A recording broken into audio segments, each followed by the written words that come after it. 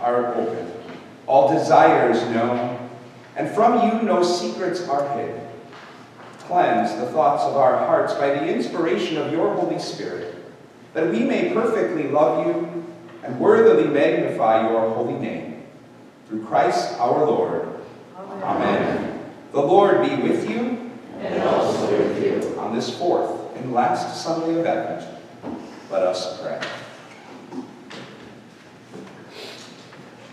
Purify our conscience, Almighty God, by your daily visitation, that your Son, Jesus Christ, at his coming, may find in us a mansion prepared for himself, who lives and reigns with you in the unity of the Holy Spirit, one God, now and forever.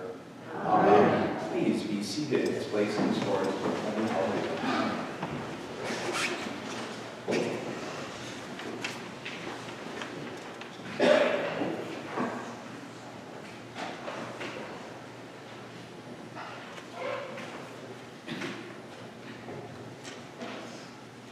A reading from the book of the prophet Isaiah.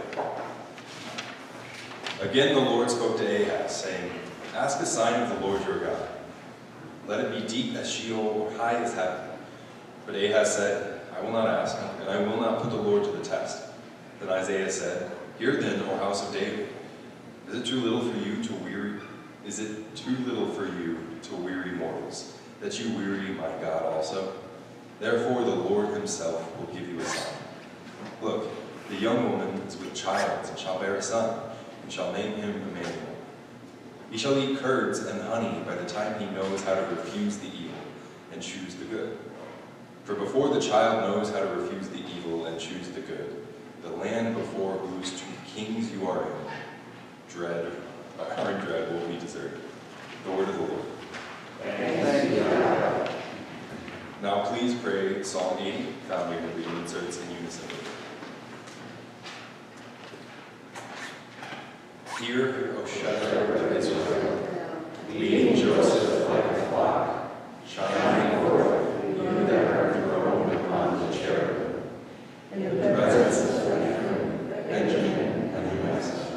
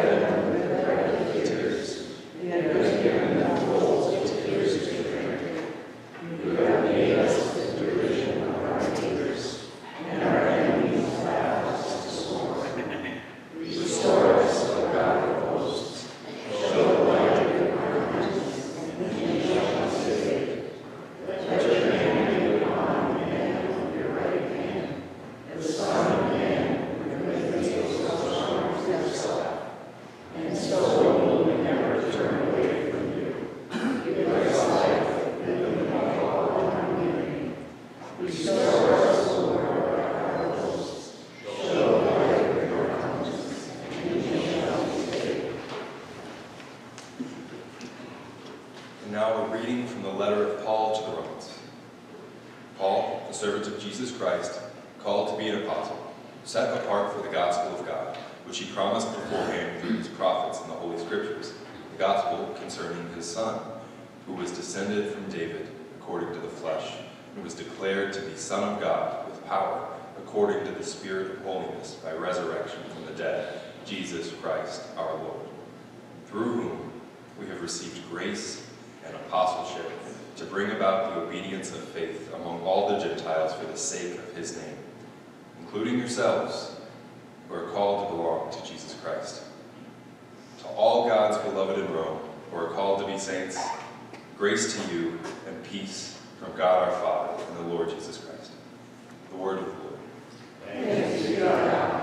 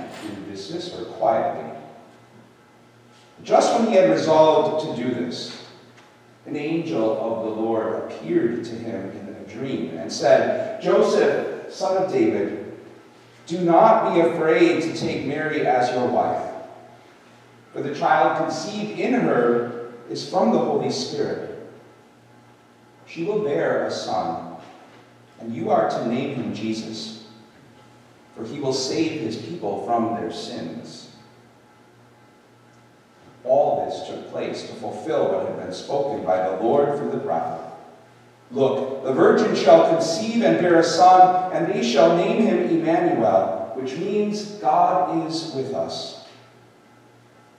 When Joseph awoke from sleep, he did as the angel of the Lord commanded him. He took her as his wife, but had no marital relations with her until she had borne a son, and he named him Jesus. The Gospel of the Lord. Praise to you, Lord Christ.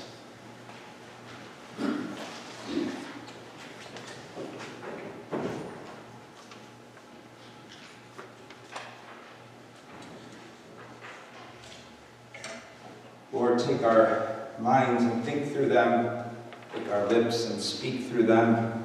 Take our hearts and fill them with advent longing for the coming of Emmanuel. Amen. Amen.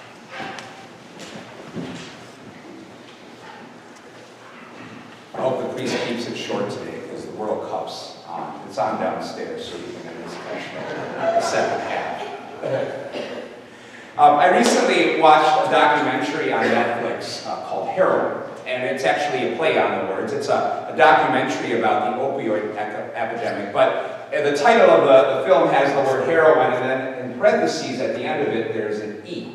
Uh, because the documentary really follows three female heroines who are on the front lines of fighting the opioid epidemic in Huntington, West Virginia which sociologists say is the, the epicenter for the opioid crisis in our country. Huntington, West Virginia has an overdose rate 10 times that of the national average. And these three heroines the, the film portrays, in, in the ways in which in their own capacities, they're passionately working to try to transform people's lives, restore people's lives who are caught up in the weary nights of addiction, and even restore a whole community. One is the fire chief of Huntington. Her name is Jan Rader. And she is passionately committed to being an advocate for Narcan. She's making sure that all her departments have Narcan on hand, but she's also passionately committed to caring for her firefighters because many of them struggle with burnout and exhaustion because of the countless calls they have to overdose people, and some they're not able to save. Another heroine in the documentary is the judge who's in charge of drug treatment court in Huntington, uh, Patricia Keller. And she's committed to trying to, to have this blend of a healthy blend of, of empathy and providing wraparound services for people who get caught up in the criminal justice system because of their addictions, but also not, not afraid to impose real and tough consequences, which, which people with addictions need sometimes to help them uh, along their paths to sobriety. And the third woman the documentary portrays is, is a woman named Necia Freeman who calls herself a street missionary. And she just simply goes out at night in her car in the middle of the night in the streets of Huntington looking for prostitutes to connect with and talk to. Many of these women are forced into prostitution because of their dependency on opioids. And she just simply pulls up alongside them and talks to them, gives them a bag of food, even offers them a seat in her warm car if it's a cold night, just simply to show these women that they're loved and that there's somebody who cares about them in the community. I really appreciated watching the documentary on, on two main levels. One is somebody whose life has been touched with the opioid epidemic and losing a stepdaughter to it. I appreciated the way in which the documentary portrayed the complexity of this epidemic. Uh, if only it were as simple as just say no to drugs, but it's not. These are complex and layered situations. And if we're going to respond as a society healthily to them, we need various layers of people, like these three women in different capacities, working together and, and collaborating and, and being involved and, and bringing about some sort of restoration and solution to these complex problems. But the other way in which the documentary spoke to me was it just said so beautifully or articulated so beautifully uh, what's in the human spirit to respond to, to people whose lives are, are caught up in the weary nights of something like the darkness of addiction. These, these three women are, are hardly much in the scope of how massive this epidemic is in our country and even in Huntington, West Virginia. In a sense, they're just three whispers in the midst of it all. And yet, in their own way, the lives of these three women are all whispering words of restoration to people whose lives are caught up in the weary nights of addiction. And that's a, another gift that Advent brings to us, in the way in which God's love is at work in and through our lives. Coming so often as a whisper, but, but whispering words of restoration in the middle of our weary. Matthew painted a picture of God doing that work beautifully in today's gospel. Everything about it is quiet as it centers around the figure of Joseph. In the Roman Catholic Church out of which I came, Joseph is often called the forgotten saint because Mary gets so much credit. Joseph is always the quiet one, and he had some, some dignity to him, and he had every right to dismiss Mary given the situation, weary and confused and trying to make sense of, of this whole situation and how Mary was with child. And I, I say this every Advent and Christmas, but it's so easy for us to overly romanticize the story of Christmas and forget how scandalous it for a teenage, unwed Jewish girl to be pregnant in this situation. And Joseph and Mary both had to be terrified if they were really human, and they, they were. And, and I can't imagine how weary that had to lead Joseph to be. So, planning on dismissing her quietly, everything about the text is quiet. Joseph, weary, falls asleep.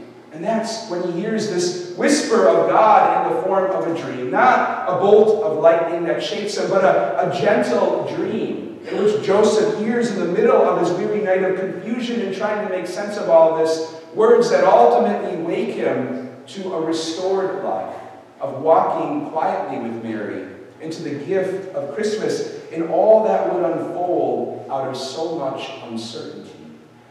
That's often how the way in which love comes, that's able to transform us and restore us in our weary nights in the form of whispers. I think of that happening in the lives of Krista and Jeff Butts. Uh, they live in New Hampshire. Twelve Decembers ago, they had three little boys, seven, five, and two. Krista was unemployed, and Jeff had just started a career as a police officer. And he was picking up as many hours as he could to try to provide for a family of three boys. And it came time to get ready for the Christmas season, and they were just flat out broke, scrimping and scraping. They, they were relying on the church for things like meals and gifts for Christmas. But like many of us who have littles at this time of year, they really wanted to get their boys' haircuts before the holiday gatherings and parties. So Krista scrimped and scraped together $30 so she could have three haircuts at the Great Clips at her local Walmart. And she went into Walmart and got her boys' hair, hairs cut, haircuts, I don't know the there. Uh, she goes to pay for haircuts, and the stylist tells her that somebody who wishes to remain anonymous paid for the haircuts and gave a nice tip as well. And Krista said you would think just $30, three haircuts. But she was overcome with emotion. And she said, I, I probably should have kept the $30 that I had and used it for something like gas or groceries. But I looked out into the Walmart store in which Great Clips was, and I, I thought there's probably other people like me here. So she took the $30 that she had for the haircuts and bought three $10 gift cards to Walmart, gave a card to each of her children, and said, let's go walk through the store and see who we think might need these cards and just give them away. And that's what they did. Fast forward now 12 years later, and as things have stabilized in their family financially, they've made it a family tradition that every day in the month of December for the last 12 years, this family decides what random act of generosity or kindness are they going to do for somebody else. And they span the gamut of just being intentional about holding doors open at stores when they're busy and lots of people are passing in or smiling at people, or they put together 100 bags of homemade candy and little notes of appreciation and love that they dropped on random houses one year. But they've also done deeper acts of love and charity. Like one year they adopted a disabled veteran and decorated his house for Christmas and then took the decorations down afterwards. And they, they adopted a widow one year was newly widowed and did all sorts of errands for her and, and fixed some things around the house for her. Or they, they randomly paid for meals at restaurants for other people. And all of this came really from, from a whisper, an anonymous act of kindness that was $30 and three haircuts that were paid for for Krista. But she talks about how in that act, she can go all the way back to that great clips and that Walmart, and that simple act of quiet love, she found this restoration because she said, if that didn't happen, I think I would have just kept being turned inward on my own struggles and the, the stress in my life. But somehow that act of compassion restored her. It turned her outward to just want to reach out to other people who might just be in the same situation that she was that holiday season. And they've been doing it now ever since for 12 years. That is the whisper of Advent that this last Sunday holds up us today. It's a whisper that runs through life to restore us in our weary nights, and we hear it even in the weariest of places. Like in our psalm today, Psalm 80. A psalm that was written at a point in Israel's history when they were attacked and conquered by Assyria. And all they had, as the psalmist sings here so painfully, were tears for bread. Everything was anguish and exhaustion and weariness. And yet, still in the midst of that, and three times in the psalm we pray today, the psalmist hears this whisper of hope that there just might be the possibility of restoration that led the psalmist to sing out three times Restore us, O God of hosts. In the middle of our weary nights, show the light of your countenance, and we shall be saved. That is the whisper of Advent that we tune our ears to these last days of this holy season. And we celebrate that whisper because ultimately it runs through life to keep directing us to the manger. Or in a few days, we'll discover in the whispers of Joseph and Mary to the quiet coos of their vulnerable and helpless child the love that's really able to restore all things. Amen. Amen.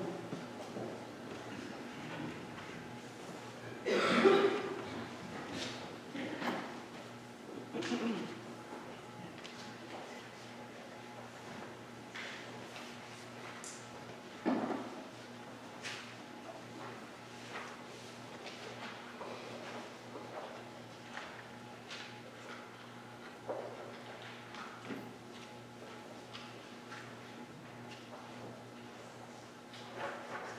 rise.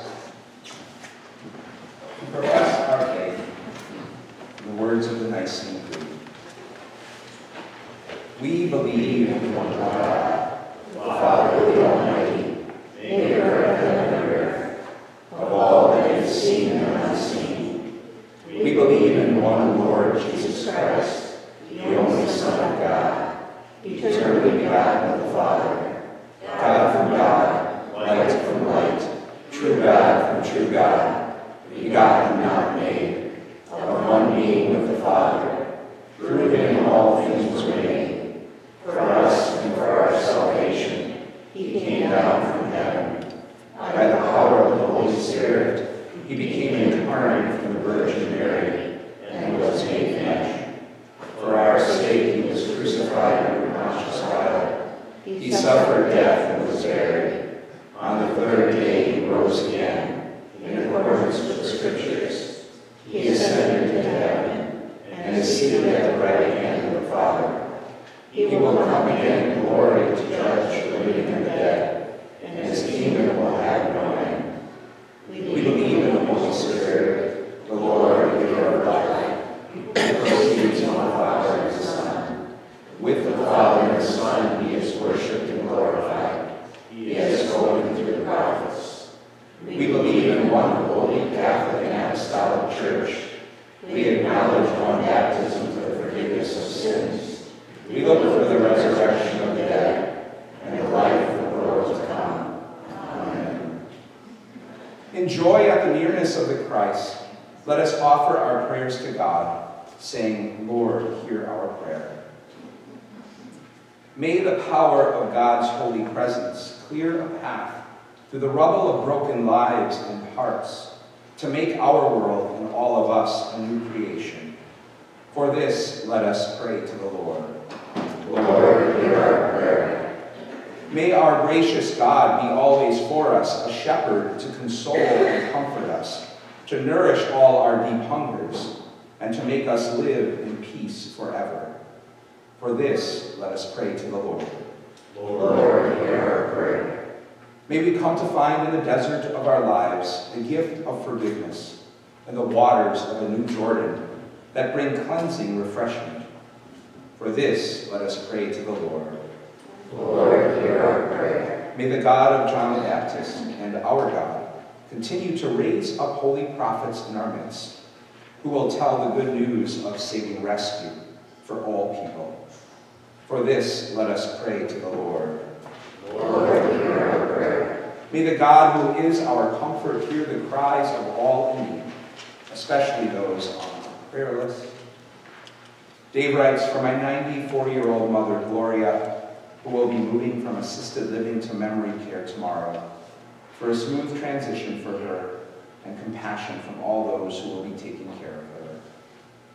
May Beth ask prayers for her son Justin, who is navigating some complications after surgery, for strength and recovery. Sue writes prayers for Suzanne, who died on Wednesday.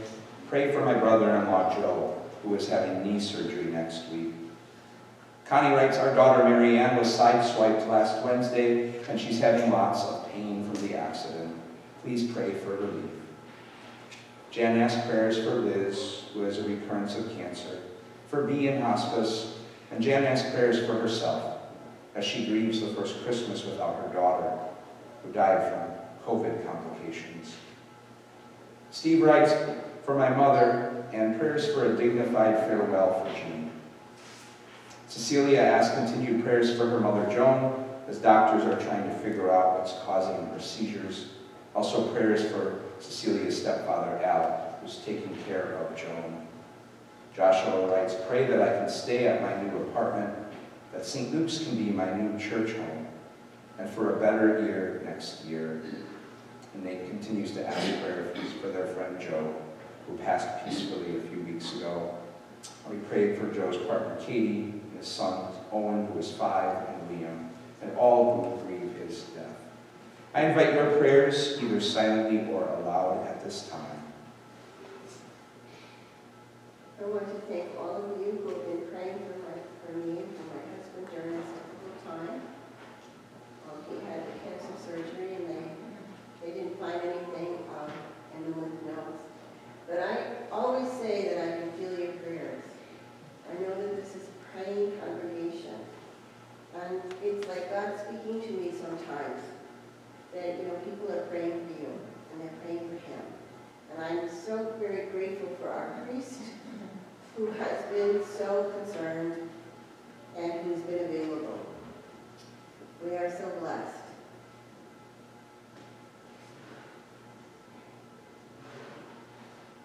We continue to pray for Bob, who's usually here handing out reading inserts he continues to recover well from his quadruple bypass surgery a few weeks ago. He does ask prayers for patience from us, though, because he can't sit still and he's supposed to. So we pray for patience for them.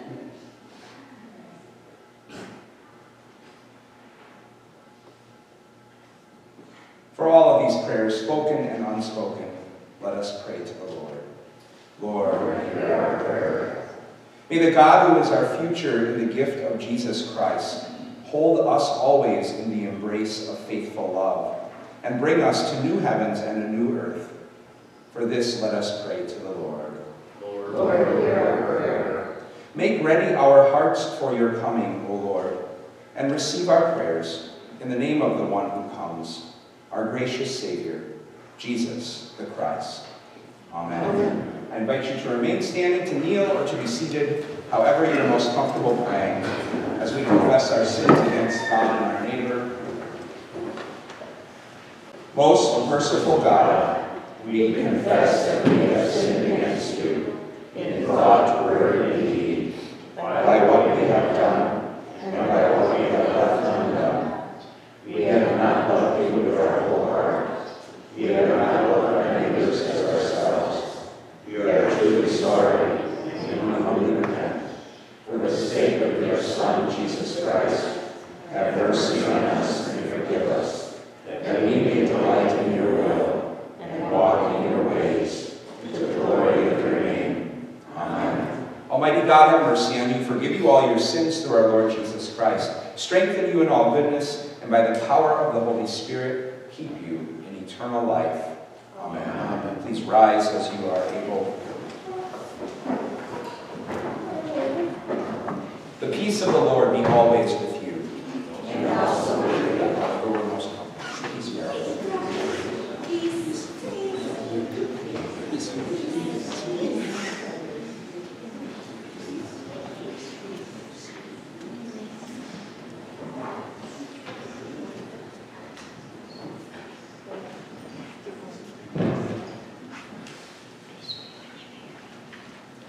Again, a reminder, this is a celebration of Holy Communion in the Episcopal Church. All baptized Christians are welcome to receive.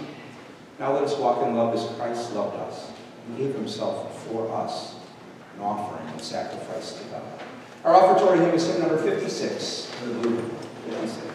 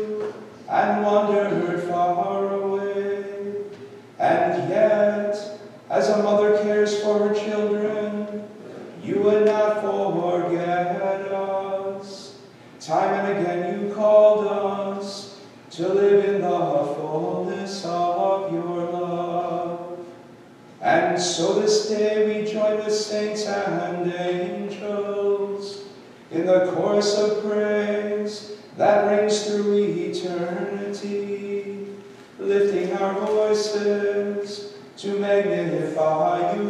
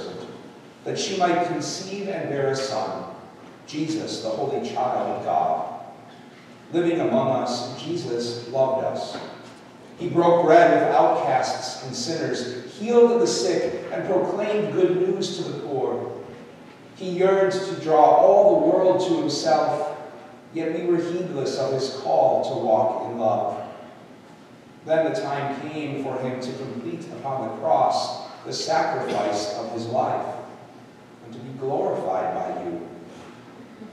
On the night before he died for us, Jesus was at table with his friends. He took bread, gave thanks to you, broke it and gave it to them and said, Take, eat. This is my body, which is given for you. Do this for the remembrance of me.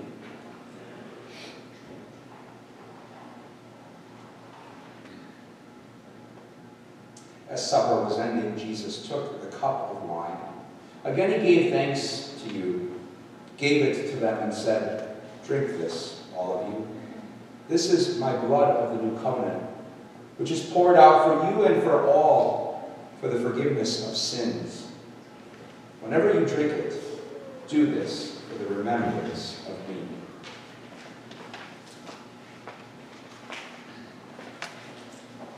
Now, gathered at your table, O God of all creation, and remembering Christ crucified and risen, who was and is and is to come, we offer to you our gifts of bread and wine and ourselves, a living sacrifice. Pour out your Spirit upon these gifts, that they may be the body and blood of Christ. Breathe your Spirit over the whole earth, and make us your new creation, the body of Christ given for the world whom made.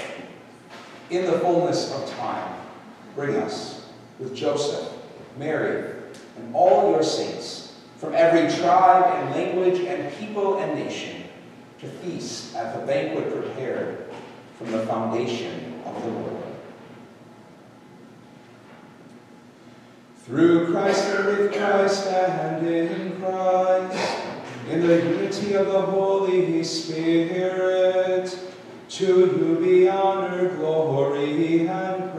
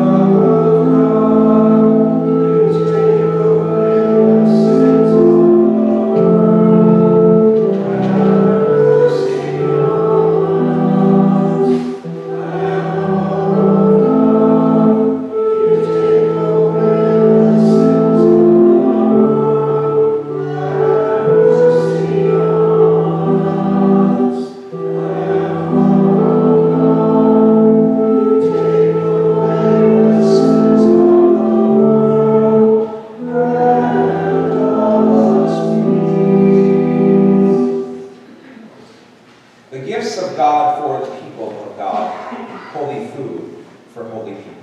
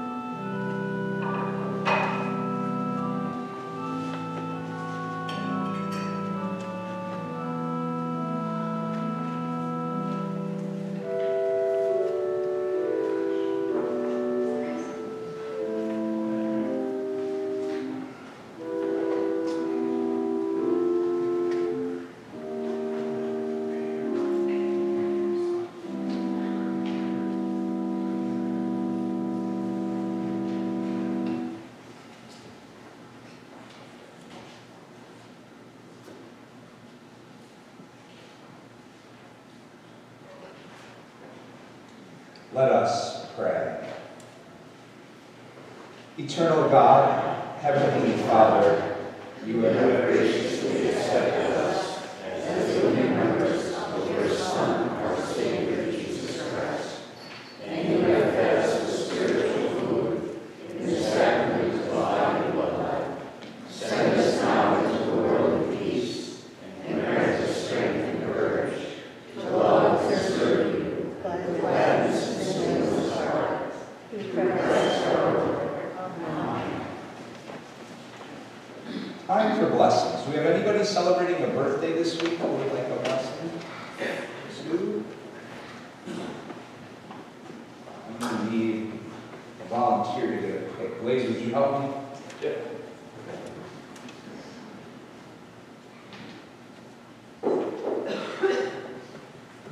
Get my camera. Parish post. There. We pray for Sue. Loving God, our times are always in your hands. And so we ask you to look with favor on your daughter and servant Sue as she begins another year. Grant that she may continue to grow in wisdom and grace and strengthen her trust in your goodness and nearness all the days of her life. Through Jesus Christ our Lord. Amen. Amen.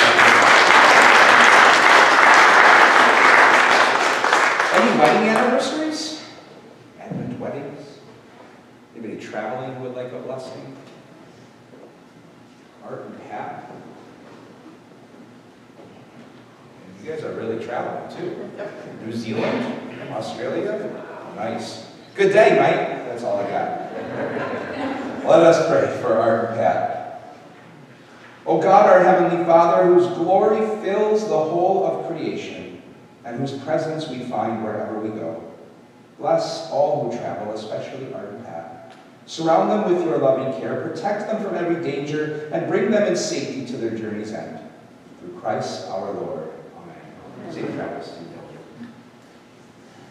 Anybody carrying a weight physically or emotionally or spiritually and like to celebrate the sacrament of anointing of the sick? Okay. Not too many announcements other than um, I think, uh, thanks to all of you who sent in memorial flower donations and names. I think I got them all. I'll be publishing them throughout the Christmas season in the parish post. If I miss one, um, I'll ask forgiveness in advance, but I can always add names, and you can keep memorials coming in if you like. Um, send a, a note with the names and who you would like remembered. Um, we'll be having poinsettias um, right here this week. Um, also, a reminder that we have two Christmas liturgies, um, one on Saturday next week at 4 p.m., and then one on Sunday morning at 9 a.m. It's the same Christmas liturgy both days. Uh, we'll be having an open house at the rectory for anybody who would like to come over after the 4 o'clock service on Saturday. And then on Sunday, the 25th, we'll have a simple coffee hour with some Christmas cookies and coffee down in the parish hall. And um, lastly, uh, I don't see Cecilia here today. Um, Cecilia is the one who spearheaded our Christmas caroling efforts uh, last year and possibly this year, but as we've been praying for her, her mother took ill unexpectedly with these seizures, and she's going to be, is she down there or will she be leaving? to go down? Yeah, she's, she's out of town. now. Yeah, she's going to be going down to Alabama to be with her mom as doctors try to figure out what's causing these seizures. So, if there's anybody who would like to take on a lead role in caroling, we were originally going to do that on this coming Thursday at 6 p.m. If not, that's okay too. We don't have to do it this year. Um, just let me know, and you can and we can see about making that happen. But we continue to pray for Cecilia and for her mom Joan as doctors continue to try to figure out what's causing her seizures. And lastly, do come down to coffee hour. Um, Argentina and France are on the TV in the corner. And I'm just, this is like a multitasker's paradise this morning. If you want to at all stay or help, I'm going to do some greening of the church today too. So we have some trees that are downstairs that can be moved up and put in the corner, the manger and some wreaths on the pews. So we'll stick around here, come to coffee hour, we can work that all. Please rise for your blessing.